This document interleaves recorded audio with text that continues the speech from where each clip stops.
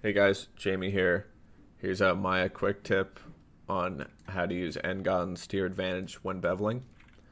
So if we have a situation like this, uh, so we made our cut here, so we're taking out and we want to add in a section here. So let's go bridge all these guys.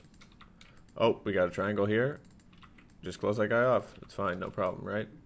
So when you go and you bevel this. So we end up with a very short bevel on this side.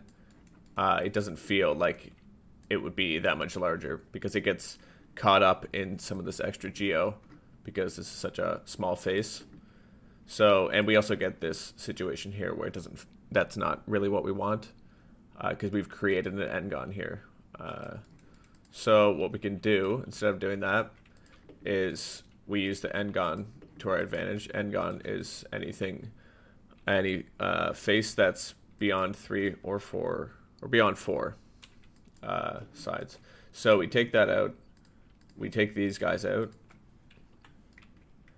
So like this is gross to look at, uh, but it's gonna be used to our advantage. So here we go. Bevel the same thing. Bam. So we get this bigger bevel less destructive, and we get a proper corner here.